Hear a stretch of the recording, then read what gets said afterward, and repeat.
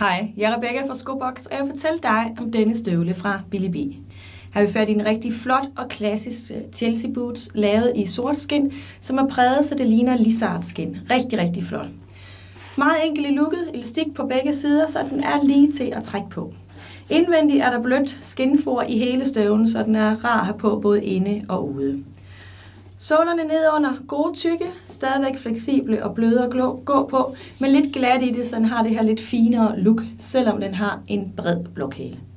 Det er en god idé lige at imprægnere den indenbrug med en god skinimprænering, og så kan den altså sagtens pusses med sort skosvær, så den bliver ved med at være flot blank, og man får plejet skinnet.